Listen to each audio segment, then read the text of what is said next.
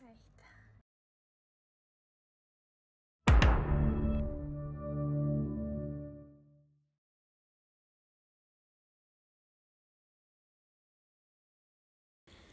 María Eugenia González nació en Argentina, provincia de Mendoza, el 29 de febrero de 1984. Desde niña le interesó la lectura, empezando así a leer a los tres años. Desde entonces se adentró en el mundo de la literatura. Su madre estudió la carrera de psicología en la Universidad de Mendoza, pero no la pudo terminar por el surgimiento de la dictadura militar de 1986. Por motivos laborales y por su postura política, viaja a Buenos Aires a trabajar en el Congreso de la Nación. Y cuando retorna, ya no puede continuar estudiando psicología porque la carrera ya estaba cerrada. Por estas razones, la casa de María Eugenia se encuentra repleta de libros de psicología, algo que le despierta un pequeño interés sobre la disciplina. Al pasar los años, termina por optar en ser licenciada en Ciencia Política de Administración Pública en la Universidad Nacional de Cuyo donde realizó una tesis sobre políticas culturales en Mendoza. Por medio de ese trabajo se aproximó a distintas concepciones de la cultura y que una de esas era una visión del psicoanálisis. Por eso, y motivada también por su psicoanálisis, realiza una maestría en esa disciplina, en la Universidad de la Concagua. De forma paralela, trabajó durante cuatro años en gestión en el Ministerio de Turismo y Cultura de Mendoza. Así comienza la historia profesional de la investigadora González, escribiendo numerosas investigaciones científicas, como ser, por ejemplo, una investigación en el Instituto de Psicología Social de la Universidad de Río de Janeiro, en Brasil, un estudio histórico sobre el trabajo clínico en el Hospital J.A. Esteves, el psicoanálisis en planes de estudio de carreras de grado de psicología en Argentina, la expansión del psicoanálisis en la Universidad Argentina desde mediados del siglo XX, un estudio historiográfico. Pero una de sus investigaciones más impactantes es el psicólogo como psicoanalista, problemas de formación y autorización, que lo realizó junto al famoso historiador de psicología y el psicoanálisis, licenciado en psicología y el doctor en historia, Alejandro Dacfal. Ella misma eligió a Alejandro, ya que como licenciado en ciencias políticas, habían cuestiones que estaban vinculadas con el psicoanálisis. Él pudo acercarme a los clásicos de su biblioteca para que yo elija algo que pudiera investigar, y me di cuenta que existía, como en el sentido común, una confusión entre el psicoanálisis y la psicología, dijo María Eugenia. Así, María Eugenia se da cuenta de que hay política en todos lados, de que en cualquier orden social donde hayan más de dos personas existen intereses, existen voluntades de querer direccionar las cosas de un lado para el otro. Ahí es donde se producen conflictos y tensiones.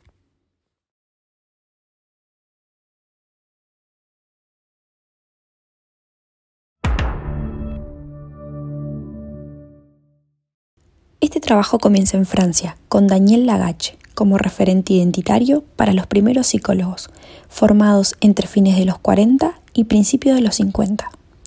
En 1947 fue el primer psicoanalista en hacerse cargo de una cátedra de psicología en la Sorbona. La clase inaugural de Lagache, dictada en 1947, ampliada y convertida en libro, iba a transformarse en una verdadera consigna para los psicólogos franceses.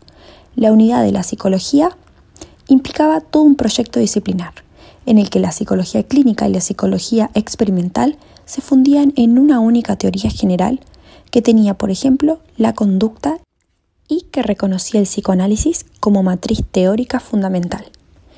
En Argentina, el proyecto Lagachiano fue retomado por Enrique Pichón Riviere, uno de los miembros fundadores de la Asociación Psicoanalítica Argentina. Fue difundido por sus discípulos más ilustres, que ocuparon puestos destacados en las cátedras de las primeras carreras de psicología, creadas entre 1955 y 1959. Atravesados por el pensamiento francés, ellos hicieron una adaptación particular de las ideas de Lagache al contexto local. José Bleger, en particular, con su psicología de la conducta y su filiación marxista, se instituye como referente de los primeros psicólogos argentinos. El joven Bleger concebía una nueva psicología ligada a los ideales reformistas de la salud mental, que él aún denominaba higiene, basada en el psicoanálisis operativo. A partir de ahí, Beigler comienza a ser reconocido por su auténtica idea. Él comenzó a dar conferencias como clases en universidades, siendo elogiado y nunca cuestionado, llenándose de prestigio, estatus y economía. Pasando los años, tras movimientos políticos, golpes militares, nacimiento de nuevas ramas de la disciplina y nuevos aportes de autores, esta imagen de, Bleguer fue desvaneciendo y perdiéndose. Dos jóvenes interesados en cómo evolucionó el psicólogo desde que llegó a la Argentina y qué problemas tuvieron en el medio, comenzaron a investigar a fondo esta cuestión. Comenzaron esta búsqueda analizando antecedentes en Argentina de años anteriores, libros, imágenes, pero no les era suficiente esta información. Por esta razón, comienzan a buscar autores quienes hayan dado aportes en la disciplina. Luego de días y días de búsqueda, encontraron en un diario una pequeña parte donde José Bleger iba a dar una conferencia a las 5 de la tarde ese mismo día. Entonces tomaron la decisión de ir.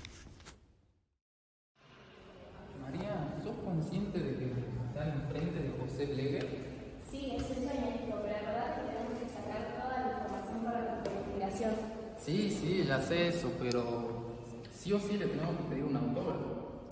Dios mío.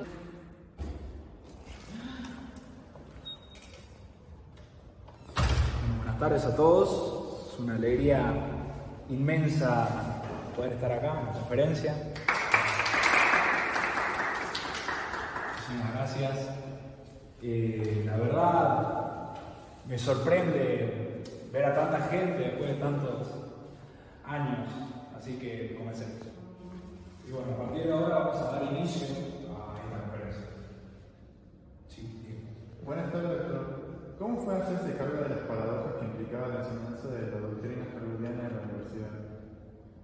Bueno, fue muy motivador en ese momento respondiendo a tu pregunta. Tuve que razonar a los alumnos cuál era la pertinencia de enseñar el psicoanálisis a futuros profesionales que estaban legalmente inhibidos para ejercerlos. Y también tenía que explicar que lo utilizaban para mentir el psicoanálisis, más allá de la asociación oficial que reclamaba el monopolio del psicoanálisis o de la formación analítica.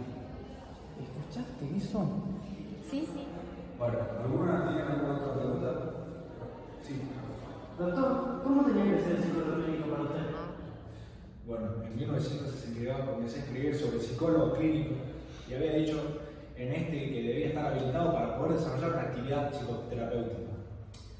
Y así, a mí, para mí, en lo personal, me alegra que hoy en, hoy en día, actualmente el profesional está mejor preparado técnica y científicamente para realizar dichas tareas. Y bueno, terminando las respuestas de este sector, vamos a retomar las preguntas de acá que eran sobre... ¿Anotaste eso o me conté cuando iba a Sí, sí, pero María, tenemos enfrente a José Weber. Aprovechemos la oportunidad, aunque sea le hagamos una pregunta. Disculpe, doctor. Sí. Supongamos que en el hipotético caso, por ejemplo, supongamos que... Disculpa a mi compañero doctor, me presento. Soy María Eugenia González y soy licenciada en Ciencias Políticas. Uh, una politóloga. ¿Qué se le puede ofrecer?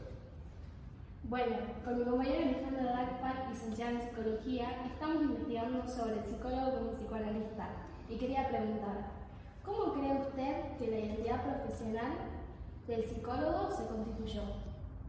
Es interesante que una politóloga pregunte por eso. Me gustaría preguntarle a usted, antes que nada, ¿qué relación puede haber entre las ciencias políticas y el psicoanálisis? Aunque es rara la pregunta, tiene relación entre sí. Tranquilo, yo le puedo contestar.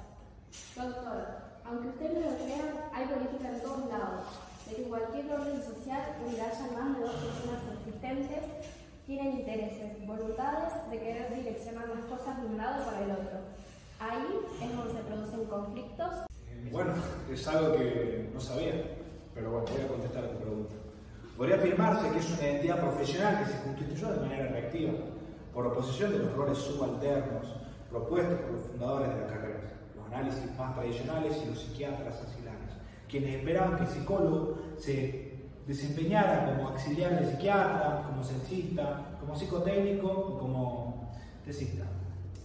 No sé si contesté tu pregunta, licenciado González.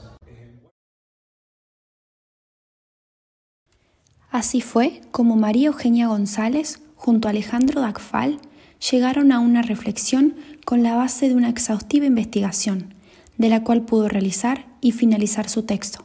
El psicólogo como psicoanalista, problemas de formación y autorización, por María Eugenia González y Alejandro Dacfal.